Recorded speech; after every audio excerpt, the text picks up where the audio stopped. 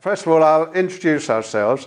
Um, uh, Vanessa Beck and I am Andy Danford. We're both members of the um, current uh, editorial team of uh, the BSA journal Work Employment Society. Uh, we're all, the whole team is based at the University of Leicester. Uh, there's eight of us, so it's quite a large team, and that reflects the large amount of papers that are submitted to the journal each year and the corresponding um, large volume of work. Um, I'm one of two um, editors in chief of the journal. The other one is my colleague uh, Melanie Simms.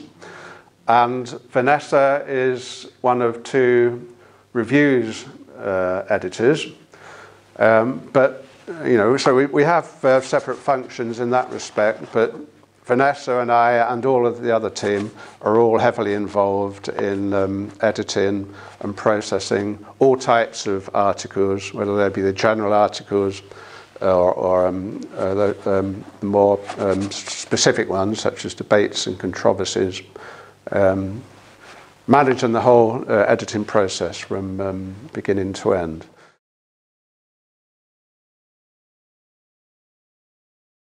We can First, go on to the review process itself. Um, starting at the first um, box on the left, um, Work Employment Society has um, it, publishes a range of different categories of article, uh, but the main um, research article that you'll see there, and you'll see uh, the same pattern in sociology and other journals, um, are the most common form. And and we get something like 320 new article submissions each year, and that's I'm only focusing on the mainstream research articles. Um, so 320, and at the first stage, uh, it's up to the editors uh, essentially to make one of two decisions. Either to accept them, not for publication, of course, but to accept them uh, as of suitable quality to go to um, um, through the refereeing process um, that we then uh, send them to our referees at stage two. Or the um, other option is to reject what we call a desk reject, to reject the paper outright. Uh, so we then move to stage two, um, I'll be talking about in a moment how we select such referees, but in the case of WES and um, I believe sociology as well, we would always choose um, three reviewers uh, from one of our boards. I'll talk about our boards in a moment. Uh, uh, those referees will get um, one month to review the paper. Um, you know, sometimes there's obviously some leeway applied there. A lot of referees um, submit their reviews faster than a month, some very fast indeed, but others, for various kind of workload reasons, take longer. But generally, the, uh, you know, we ask them to be um, to submit their reports uh, within the month. Uh, when the three reports come in, we move into stage three, uh, the editors then have to make um, a decision um, based on um, a distillation of the main points raised by the three reviewers. Uh, very many are, um, as a result of the editor's assessment of the referee reports, uh, have to go back for um, major revisions. So we then move to the fourth stage. Um, um, the editor who takes responsibility for that particular, particular paper uh, will write uh, an email or letter to the author, uh, which will be accompanied by the full reports of the three referees, and they get the full detail. And the editor, uh, at the beginning of the uh, correspondence, will uh, highlight um, the major themes and issues that should be addressed by the author uh, to get it uh, eventually accepted.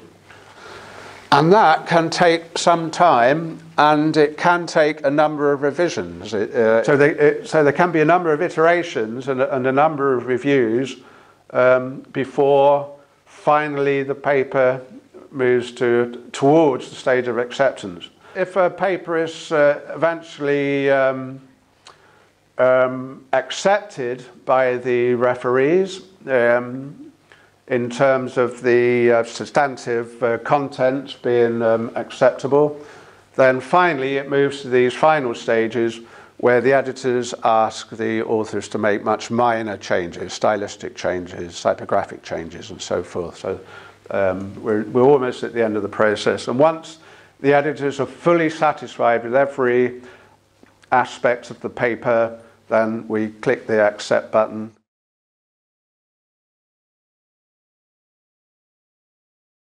Let me tell you a bit about our two main boards, because this is where the reviewers come in directly. Um, uh, the Work Employment Society, like sociology, um, operates a main editorial board of 30 academics, and their main function is to um, review the papers and take part in the process that I outlined earlier. Just as with the Sociology Journal, over recent years, as we've seen this kind of exponential growth, in the volume of uh, papers submitted to WES. Um, the, the size of the editorial board has increased, but even then, you know, we, um, without really intensifying the work of um, the board members, um, we, uh, the, our only option was to create an additional board called the Associate Board, who also took on um, mainstream uh, refereeing work. So we now have an editorial board comprising 30 academics, and we also every year elect an associate board comprising another 30 um, academics.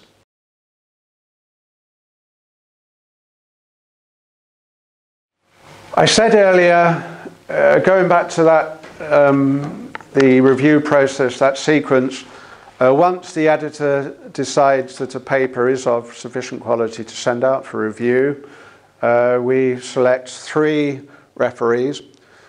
Previously, it always used to be uh, two members of the editorial board plus one other. We've changed that. Um, now, each paper that does go out to review only has to have at least one member of the editorial board uh, put in, and that reflects the slightly increased workload we've introduced for the uh, associate board. So, uh, three referees per paper. Um, uh, they, we do our utmost to ensure that whatever the subject matter of the paper is, that we use referees that, are in to a full extent or a certain extent, have the likely knowledge and expertise to critically assess that paper.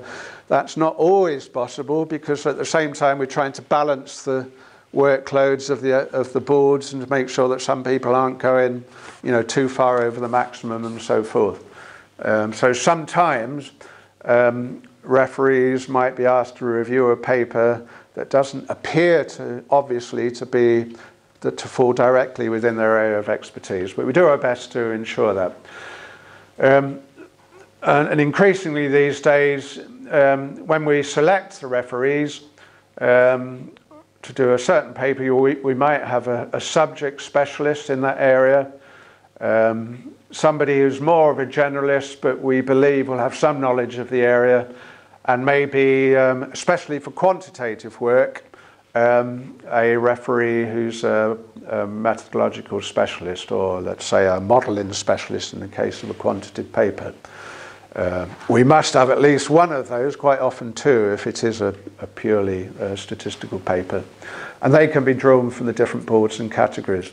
So, as we put there, uh, if we had a submission um, about female part time workers in the Netherlands using LFS data, we might have used one quantitative methods expert, one women and work expert, and if we're very lucky, we might have an expert on Dutch labour markets. Um, that might be unlikely, we'll see. But we'd certainly have a labour market expert on there.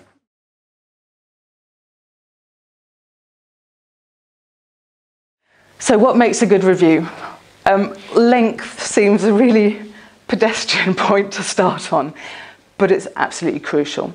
So if you're just writing a paragraph and saying, oh, I like this paper and um, it's really good, but I'd change a couple of typos, that's not going to be a particularly constructive review for an author to receive. So what we want is a really constructive engagement with the, with the argument, the, the content, and the presentation of the whole paper. So you really need to write at some length about um, your views on the paper. In general, I would recommend at least 500 words, but preferably more like 800 words in terms of a review, because that would give an indication of actually having engaged in depth with the paper.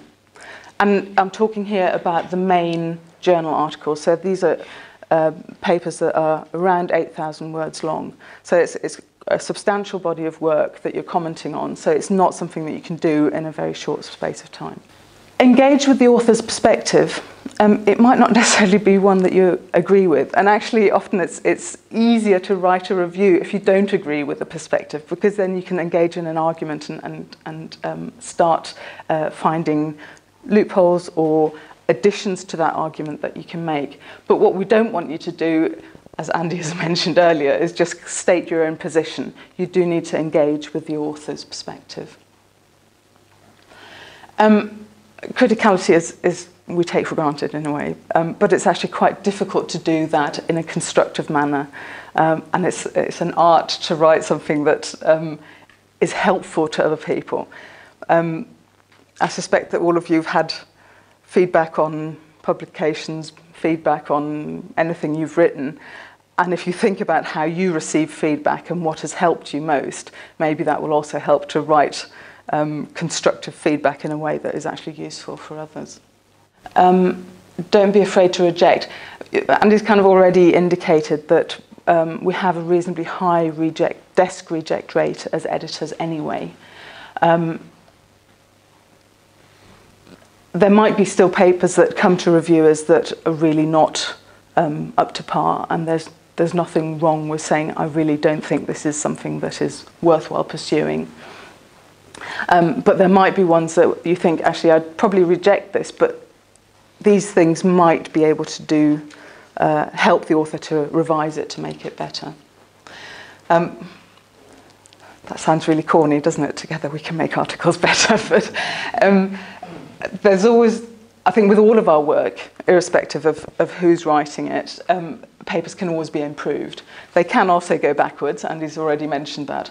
But in the main, papers really improve, and it's really nice to see how a dialogue between the reviewer and uh, the author, even though they don't know who each other are, uh, can really improve a paper and, and make it a lot stronger.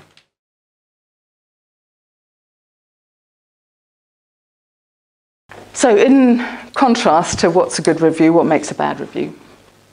Um, one is that is too accepting and not critical enough. So again, it's often something, uh, um, papers that are in your research area or that you feel passionate about, passionate about, that you want to do, you want them to do well. Um, and you then become too accepting about the, the argument that is made and you almost have to challenge yourself to keep looking for um, problems with it, for critiques, what else could be improved to make it an even better paper, even if it's a good paper already. Um, I've already talked about length. Um, having really short um, reviews is problematic for us as editors um, because we need to give an author the best possible chance to improve their paper. So especially if we have three reviewers that only write a paragraph, we might then have to uh, augment that or go back to the reviewer and say, actually, come on, what do you mean here? What, what is it that you've said you don't like? Um, please uh, elaborate on, on what you've stated. And give a verdict overall. So don't, don't, be, don't shy away from making a statement about um, what is good and what is bad in your view, because your view is being asked in, in this respect. You are a rev reviewer, you've been chosen for your expertise and for your knowledge, so reflect on that and make a statement about, about uh, your view on the paper.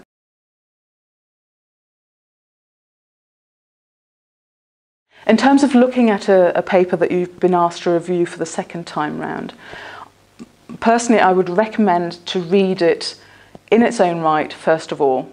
If you're anything like me, the amount of time that has, has gone by between the first and the second submission, you'll have pretty much forgotten most of what was in the paper.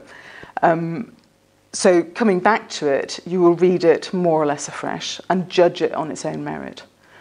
Okay, and then after you've done that, it's useful to go back to the comments that you wrote. So with the um, resubmission, you will um, receive the comments that were uh, provided to the authors from all three anonymous reviewers, um, and you will also receive the uh, author's response letter uh, detailing how they've addressed the comments that they received. And then have a look on the basis of those whether the authors have actually addressed those comments and whether they've, they've worked and, and convinced you on the points or the critiques that you had on the paper.